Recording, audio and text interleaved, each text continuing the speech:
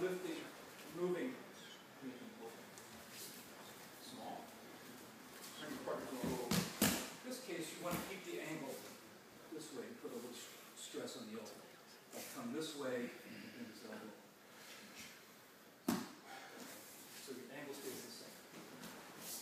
How you present your hand, if I do it this way, I can't do this technique, I have to do something else. In this case.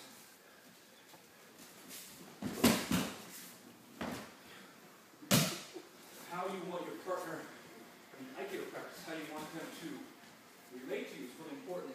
In a combat situation, you want your opponent to attack what you want them to attack. So in this case, I want them to take that.